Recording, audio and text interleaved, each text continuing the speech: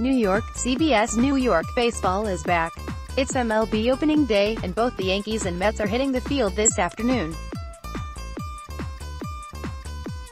Former pitching great Mariano Rivera will throw out the ceremonial first pitch as the Bombers take on the Baltimore Orioles at 1.05 p.m.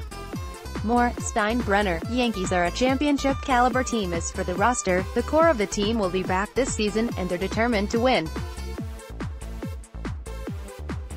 Last year, their season ended at the hands of their arch-rivals, the Boston Red Sox, who went on to win the World Series. Kind of a bad feeling in our stomach from how it ended. That's going to creep in all season, and we'll be ready for when the next time comes, outfielder Giancarlo Stanton told reporters Wednesday. More, Yankee Stadium unveils new menu for 2019 baseball season, I love the day. It's filled with the butterflies, with the excitement, said manager Aaron Boone. Little tough to go to sleep. You get the jitters going, you want to get things started.